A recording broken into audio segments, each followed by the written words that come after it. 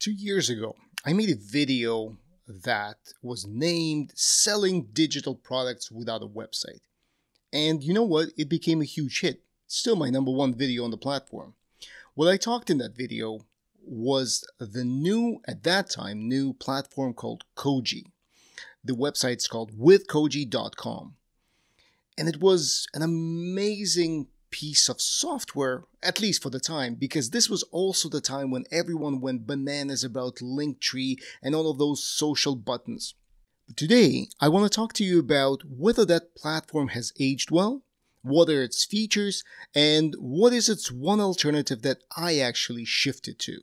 Oh, and by the way, stick around till the end of the video because I'm going to give you a money tip, specifically a money making tip. Let's get into it. Koji is an interesting platform, and we're going to jump to the screen right now. It's social friendly, it's supposed to live in the social world, and its promise is really about build a product, link it to this button, and sell it anywhere you want. They do all of their sales through what they call templates. And when you go to see a template, actually, you know what? Why don't we just look at this rather than just talking about this? Here we are on the Koji website, and uh, there's a lot of things going on. Obviously, marketing materials, but when we jump into templates, you'll see that the way you act, the way you sell, the way you interact with your audience is by using one of these templates. So, if you want to sell digital products, you would pick something like this up, configure it, so here we go. We just picked this template. Uh, it shows you one of the ways you can predetermine the background and how it's going to look. And once you're happy with it, you move on to the next part, which is you give your product a name and you give it a great description. You can add a banner image, you can add a mobile image, logo if you wanted to, but I'm just going to click next in this particular case, keep 95% of purchases. So the cost of selling with this template is 5%. And this is one of those tricks that I could never understand about Koji.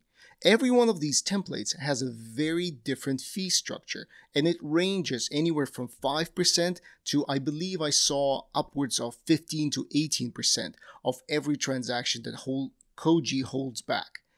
I don't quite understand why that works, and I'm sure some of you watching might have figured this out. So if you can help me in the description below, I would greatly appreciate it. But this is it. You are almost done. You can click publish and off you go. In, in much the same way, we can do it with other uh, types of templates. So if you want to sell an ebook, you would go configure it, attach a PDF version. You see, the steps are very simple, and then you publish and then you go. And then you deploy it across your social channels. You will have something that looks like an app that people can browse through and pick up your product. Great, fantastic. It's really easy and it does not really require a website. Great. There was one problem though. And I don't know how pervasive this is, but a number of people who watched my video and then started using the platform also reported problems with getting money out. They made a couple of sales, and after a couple of sales, they could no longer withdraw the money that the product was generating. Again, I don't have personal experience with that. I don't know if it's a one off situation. Maybe there is a very good reason why that's the case. But then I did some research online and I've seen that a number of people have reported that. Again, I don't want to cause any sort of alarm or point a finger at the platform because usually these situations happen. What other challenges do we have? Is so we talked about fees, we talked about challenges with sometimes challenges with getting money out. Support and documentations are iffy at best. If you're a novice and if you don't befriend technology, I would recommend you pick something different. So if Koji is this, what am I using today? Well, I have my personal website and I use WooCommerce on WordPress. But if I had to go someplace else, I recently discovered Gumroad, and I didn't actually know that Gumroad existed for a very long time. But let's talk about Gumroad. Now, Gumroad takes a different approach to Koji. It's more of a marketplace for everything. It's an e commerce website, and they made it exceptionally easy and straightforward for you to sell anything. And much like Koji, you can have subscriptions, you can have classes, you can sell digital products, ebooks, templates, whatever your heart desires. In fact, if you look at the website and you start scrolling down, you get a lot of the features that the website off- offers right here, and they're very easy to pick up. Even if you're new to e commerce, you will understand what you need to do. Let me let me just show you what you can find in the discover section. Discover section is essentially a storefront of everything that's being sold on uh, Gumroad, and you can see that you have anything from audio to business and money to comics, graphic novels, books, design, drawing and painting. It's incredible. It's incredible. And every uh, listing looks a bit like this. Let's just jump into design just to see here. Logo Package Express 3.0, $119, nice sales, feedback, and when you go here, you can have multiple different types and versions of the product. You'll have a nice description. This poster created a video so you can it's easier for you to understand. All of the features are laid out. So we talked about the, the fact that this is a marketplace. It's an easy e-commerce. You can do subscriptions. You can do all of that. In fact, Gumroad is much better on marketing than Koji is. Now we have to talk about the drawbacks. Sometimes a one size does not fit all. And you know that. People like to express themselves and Gumroad, like any platform that is closed, will only let you do so many things. Me, browsing through the website, I actually like the conformity because I know where to look for for information, where the features are, where the prices are. It's not all over the place. But if you'd like individuality, if that's something that your brand demands, this is not going to be the platform for you. Now, we also have to talk about transaction fees. Remember when I was saying that Koji is all over the place? Gumroad is actually very much one size fits all. It's a 10% flat fee transaction, and that covers everything. Is it a lot? Is it little? That's for you to decide. But they take out any sort of guessing out of the system, and they only charge you 10% for every time you sell. Now that we covered all of that, I want to share with you a money making opportunity as something that is not on the surface and I have not really seen a lot of people cover. And for that, I will need to log into my uh, Gumroad account. Okay, wonderful. If any of you want to pick up uh, my AI prompts, absolutely go ahead, go for it. I'll leave a link in the description below. But this is not what I wanted to talk about.